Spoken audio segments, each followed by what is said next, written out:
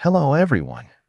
In this very short video tutorial, we'll take a look at one of the reasons why the error, at least 8 common tracks on both keyframes are needed for reconstruction, may appear when trying to reconstruct the motion of a real camera in Blender using motion tracking. The two keyframes Blender is referring to are the ones marked by two yellow lines in the progress bar at the bottom of the movie clip editor. These are usually set automatically by Blender, but you can change them manually by adjusting the values of the keyframe A and keyframe B fields in the Solve tab of the editor. It's generally recommended not to choose two keyframes that are too far apart in the timeline, so Blender's default settings work well in most cases.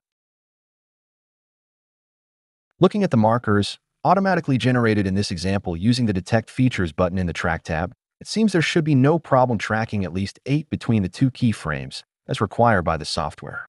And in fact, that's true. However, if we click Solve Camera Motion in the Solve tab, we get the infamous error message with no further explanation. In most cases, this error happens because we've skipped an intermediate step, which is somewhat hidden in the Track tab but clearly visible in the header of the Movie Clip Editor.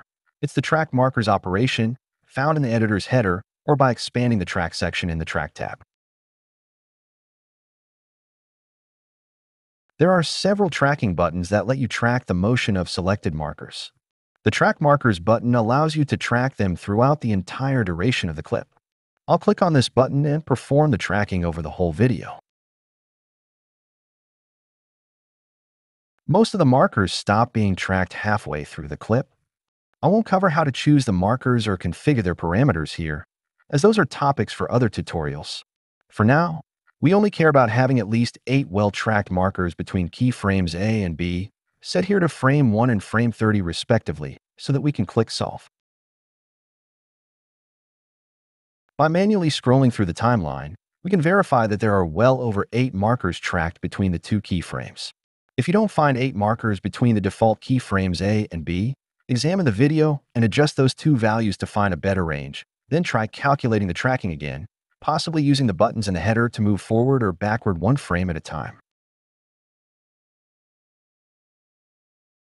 Now we can go to the Solve tab and confidently click on Solve Camera Motion. Since I haven't cleaned up the trackers or configured their parameters properly, the solve error value will be unacceptably high, so the reconstruction won't be accurate, but that too is a topic for another tutorial. That's it for the topic of this video. If you found it helpful, feel free to leave a like and subscribe to the channel. Don't forget to turn on notifications so you won't miss future tutorials. See you next time.